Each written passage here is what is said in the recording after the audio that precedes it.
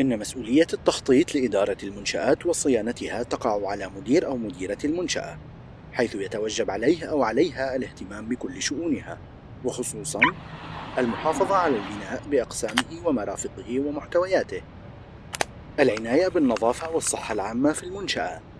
الإشراف على تنفيذ أعمال الصيانة والترميم والإصلاحات المختلفة المقررة لمبنى المنشأة وتسهيل تنفيذها. تنظيم التعاون بين المنشأة وأولياء التلاميذ والسلطات المحلية والجمعيات الأهلية.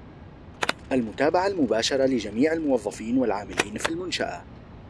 وعلى مدير أو مديرة المنشأة اتخاذ خطوات مهمة لتطوير خطة إدارية لصيانة المنشآت بالمشاركة مع الجهات المعنية، ومنها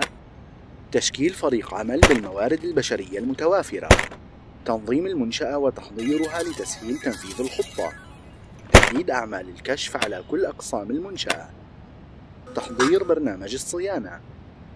تنظيم أعمال الصيانة وفق إطار زمني محدد، متابعة ميزانية صندوق المنشأة المخصصة للصيانة.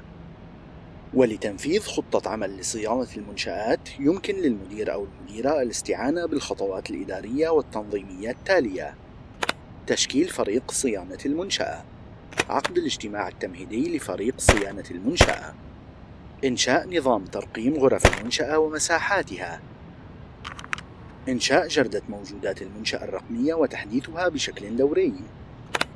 وضع قائمة الدعم المؤلفة من المجتمع المحلي، إعداد البرنامج السنوي للصيانة الوقائية وأعمال التنظيف، تنفيذ برنامج تنظيف المنشأة، تنفيذ برنامج الصيانة الوقائية السنوي،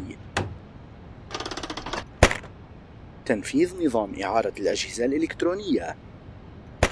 عقد الاجتماع الختامي لفريق صيانة المنشأة.